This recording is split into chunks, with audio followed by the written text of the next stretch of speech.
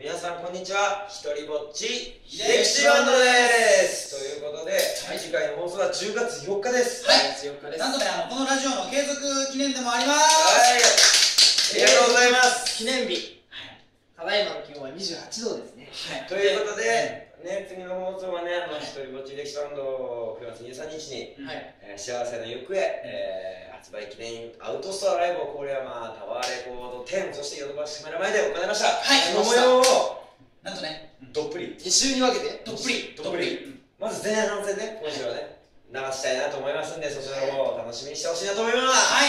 いけてる人もね、いけてない人も。はい。人間ロックですね。人間ロックです。ということで、こちら人間ロックでお送りしますからね。チームを信じて、人間ロック楽しみにということにしました。